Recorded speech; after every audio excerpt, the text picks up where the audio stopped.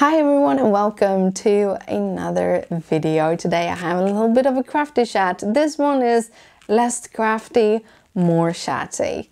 And as you see on the title, I need a break.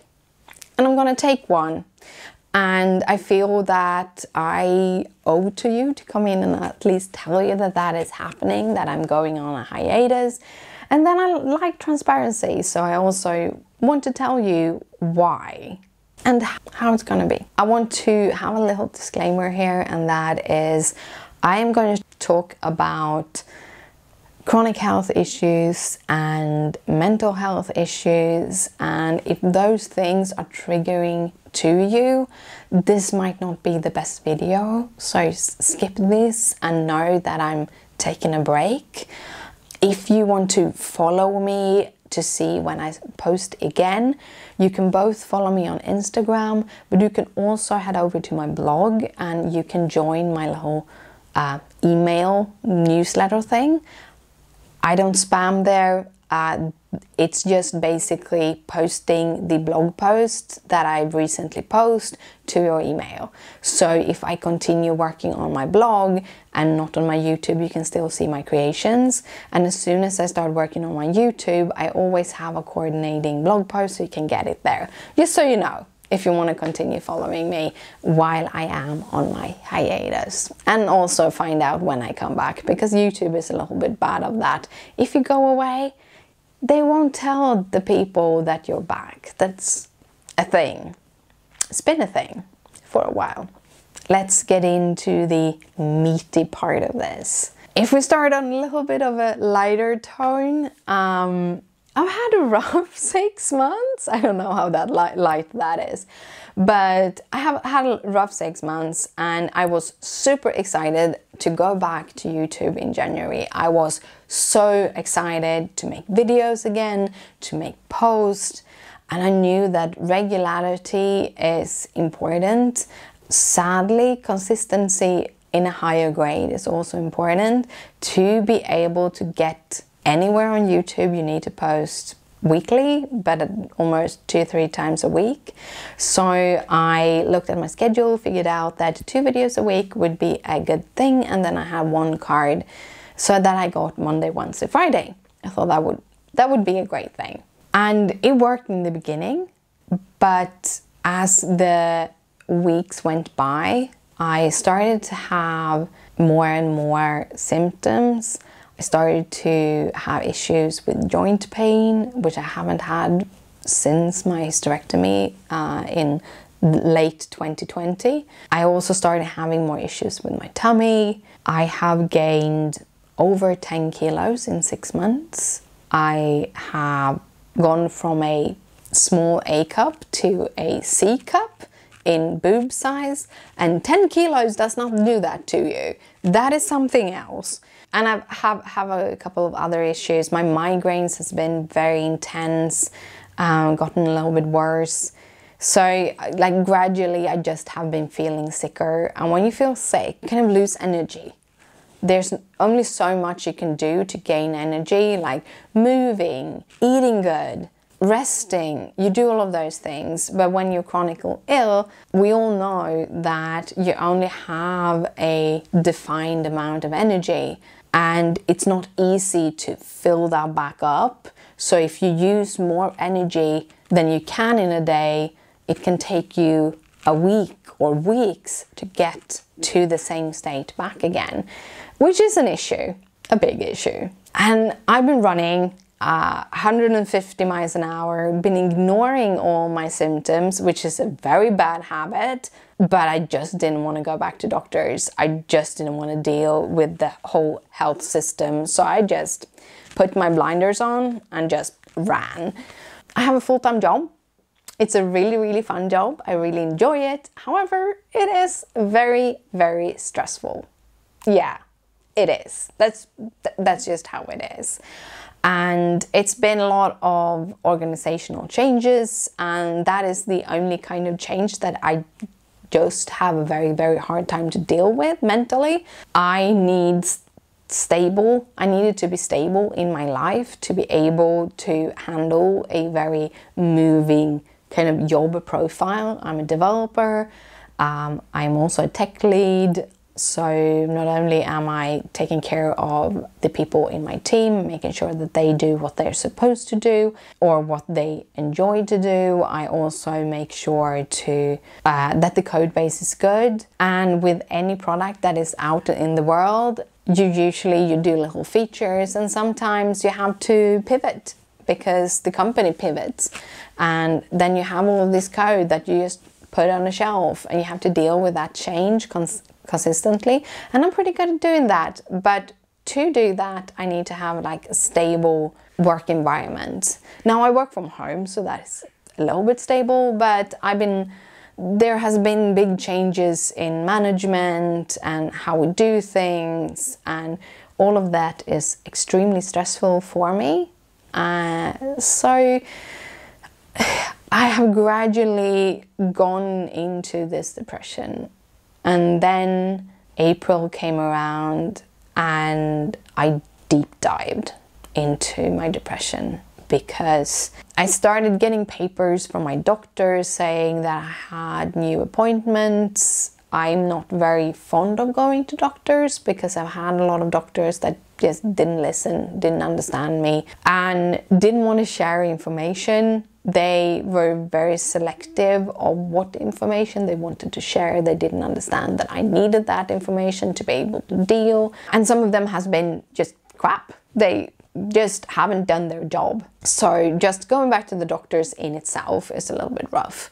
But the big thing that really made me spiral was that I got a notice that I needed to go in and have an MRI. And that is because five years ago I had an MRI. They found an abnormality on the MRI. It's a teeny tiny one and it is a suspected prolactinoma due to me having heightened prolactin levels. A prolactinoma is like a non-cancerous tumor. It produces prolactin and it can grow.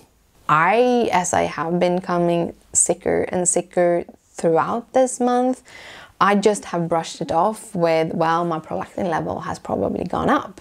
So the issue with my boobs probably that. I have lactation. I've had lactation in my boobs for three years now uh, and i can't even get pregnant because i had a hysterectomy. Uh, but I've, I have had it for like three years now uh, so i know that it exists but it's still there and then they grew um, and then i gained weight um, and then i started to get some differences in my stretch marks from the weight, color-wise, that just isn't the way they should look like, and a few other things. So I've, I've just kind of said, well, it's just prolactin. It's just heightened prolactin. When the prolactinoma gets big enough, they're gonna remove it with operation. I can't have the medication. I'm, uh, I have uh, tried every everyone and they just doesn't work for me. Uh, the side effects are too big. It makes me it makes me aggressive, like change my personality. Do not like that. The only thing was operation and it was so small that they didn't want to do anything about it. And then the MRI came and I started to worry because what happens with the results? And I felt that it was a lose, lose, lose situation because of the doctor that I've had, my endocrine doctor that I've had, she just didn't want to believe me in what was happening, what how I felt. And it took her until last year, I think, to understand that I actually had lactation. I'm like, this is how it works. Oh, yeah, yeah, I told you last time. It's still the same way. And she's like, oh, yeah. And also, I had had my hysterectomy, so no longer could the issue be due to any other issues, even though I've been in menopause since I was 30. So, yeah, I'm not to go into being angry with my doctor. But anyhow, I was really, really worried because of her, because I knew that if it had shrunk, she would probably just drop me. Uh, if it was the same size, she just wouldn't do anything about it. And if it was big, I would need to have a brain surgery, which also is very, very scary. I had all of this anxiety. I went and had my MRI, and then I didn't hear anything. And it had gone a month. in the beginning of this week, I contacted them, say, hey, uh, have you gotten the results yet? What are the results? A doctor called me yesterday. It's a new doctor, which I'm very happy about because he seemed very straightforward, he seemed very nice, and he seemed to take my symptoms in a good way. I found out my MRI hasn't changed. It's just as it was. We don't have any tests to look at, see if the prolactin level has risen or anything, but we suspected that it hadn't. However, all of my symptoms actually falls under his umbrella of being an endocrine doctor. So he's gonna send me some tests or so that I can go take some tests. However, to be able to take them, I need some like medication I need to take just before.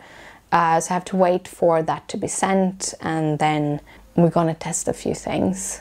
I'm worried because he took it so seriously. That is one of the reasons why I'm super depressed right now. I don't have as much stress, but I'm very sad. And it's, it's not a, like, I'm going to deal with this in the way that I deal with everything. I'm gonna let myself go through the grieving period because I don't know when I'm going to get the results. So you have to deal with it now, even though I can't change anything, even though there is so many uncertainties. I'm, I'm going to deal with this right now, that this is what I have. And then when I get to take my tests and I get to reconnect with my doctor, we get to talk about things again and I get to go through this period again. That's just how it is.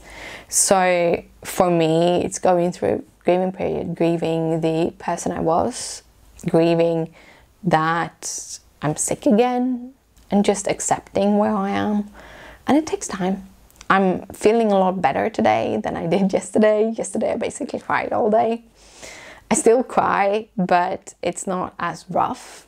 That's a good thing. The symptoms I have fall under a lot of different diseases. Uh, so for me, it's very hard to kind of pinpoint, and I think it's very hard for my doctor to pinpoint until we have more tests. But the thing he is looking at is uh, struma, for example, if my the thing here somewhere is, is growing or, or what it is, uh, if I have too much of that hormone or too little of that hormone. Uh, the other thing we are looking at is if I have adrenal fatigue or if my adrenals just have died. That can happen when you have a long time use of cortisone. And I've been treated with cortisone since 2013 due to connective tissue inflammations. I have lupus. Uh, I have a very, very kind lupus. It's not that bad. It's it's treating me pretty good, but uh, I can't eat the medication that is supposed to be like a helper medication. So I have cortisone to reduce the inflammations in my connective tissues. And for me, co the connective tissue that is affected specific specifically for me is where the muscle meets the ligaments. So I don't have joint pain. I have pain just around the joints. so it feels like joint pain, but it's not like rheumatoid arthritis or something like that. But yeah, so I've been eating cortisone for a long time, and when you do that, there is a possibility for your adrenal glands to just stop producing cortisol, which is the natural version of cortisone. And when that happens, you need to change the medication because it can be both you need to change the medication, but also uh, if you are getting under very high stress, like if you have an accident or you get very sick, the medical profession needs to know that because you have to counteract the cortis cortisone, you have to add more cortisone so that you don't go into like adrenal shock, I think it's called something like that. So there's a few different things that can be wrong and I won't know anything until months. Months, it's usually take months because uh, if the first tests that I should be doing like in the week or two doesn't show anything, I'm gonna have to go through more tests and I'm gonna have to do more things. And yeah, it's how it is, but it also means that mentally I'm pretty exhausted and I need to take that time to allow myself to just back off from any outside work pressures and stresses. And even if I love making YouTube videos because it's the fun thing I know, um, making craft tutorials is a pressure because I need to upload it at a certain schedule. So I'm taking a break. I'm taking a hiatus. I don't know when I will be back. I will continue making videos though. The, here's the thing. One thing I've been missing throughout this past six months is to make vlogs, basically day in a life vlogs or videos like this where I sit and chat, sit and chat about a topic. And I've been really, really missing that. I have an idea how I want my videos to look like, but I haven't sat down and really kind of planned them out as I should. Uh, so I haven't make it, made any vlogs for six months and I really miss it. And I was looking back here like a year ago, I was looking back on all my vlogs because I was celebrating 10 years on YouTube. Not on this channel, but like overall. So I went back on, on my first channel and looked at those vlogs. The first time I was in Florida, uh, meeting some people, stuff like that. And I felt I wished I had more footage from it. I like there's so many fun things there and I want to see if I can make go back to at least like weekly vlogs and show my life and all my hobbies and all my dreams and all my travels. I'm to travel a bunch. And those things makes me happy and helps me process like mentally.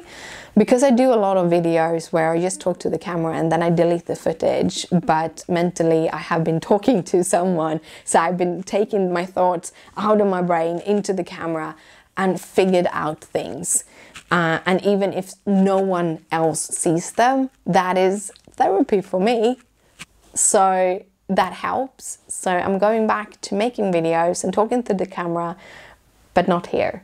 Because here is just crafting and I need a little break from it. That is my little chatty video. I'm sorry if it's a little bit of a downer and I'm sorry I'm disappearing.